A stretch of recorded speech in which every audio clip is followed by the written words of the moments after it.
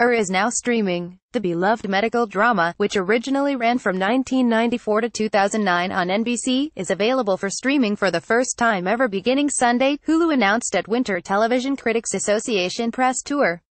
The entire run, including all 331 episodes and 15 seasons, will be made available on Hulu.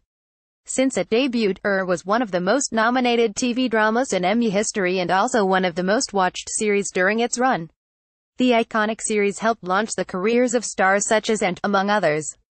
Advertisement visits a city that feels like home ad by Choose Chicago Ad Choice. It was such an honor to be a part of this show. I was lucky to have worked with so many writers, actors and directors all at the top of their game. Most importantly I've made friends for a lifetime. I'm excited it will finally be streaming on Hulu, Clooney said in a statement.